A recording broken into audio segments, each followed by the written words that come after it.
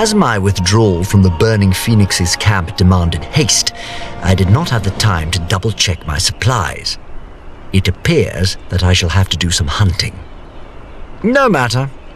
I may not be as spry as I was when I felled the charging rhino on the plains of the Serengeti, but with the small armory I managed to abscond with, I can surely manage.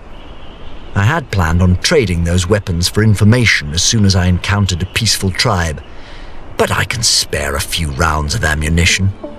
One more time and one more night without your hands, without me in your arms. Looking back, I wonder why I didn't show you how deep is my love. Let's talk about love. Tell me what do you like?